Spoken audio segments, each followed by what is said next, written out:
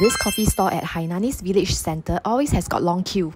If you're wondering why, I believe it's due to the old school taste of the coffee and tea there. Other than toast, they also serve steamed bread. Do not have standard breakfast set, so you have to order everything a la carte.